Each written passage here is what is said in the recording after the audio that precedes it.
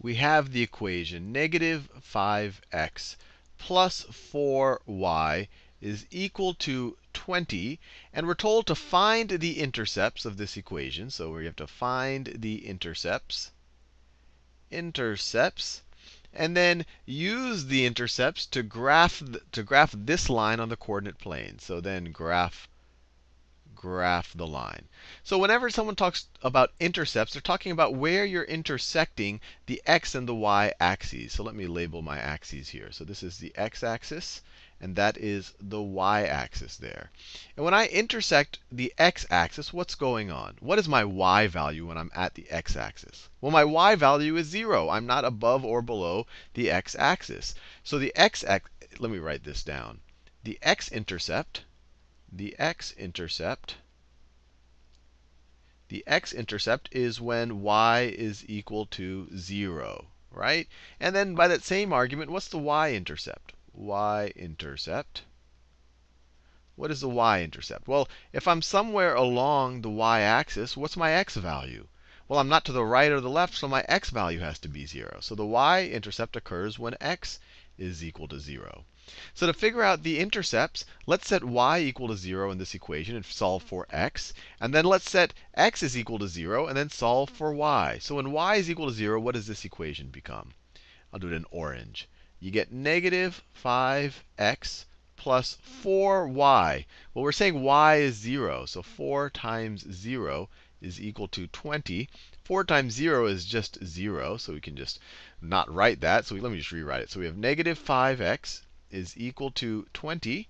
We can divide both sides of this equation by negative 5. By negative 5. The negative 5's cancel out. That was the whole point behind dividing by negative 5. And we get x is equal to 20 divided by negative 5 is negative 4. So when y is equal to 0, so when y is equal to 0, we saw that right there, x is equal to negative 4. Or if we wanted to plot that point, we always put the x coordinate for it first. So that would be the point negative 4 comma 0. So let me graph that. So if we go 1, 2, 3, 4, that's negative 4. And then the y value is just 0, so that point is right over there. That is the x-intercept. y is 0, x is negative 4.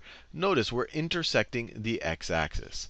Now let's do the exact same thing for the y-intercept. Let's set x equal to 0. So if we set x is equal to 0, we have negative 5 times 0 plus 4y is equal to 20. Well, anything times 0 is 0, so you can just put that out of the way. And this, remember, this was setting x is equal to 0. We're doing the y-intercept now. So this just simplifies to 4y is equal to 20.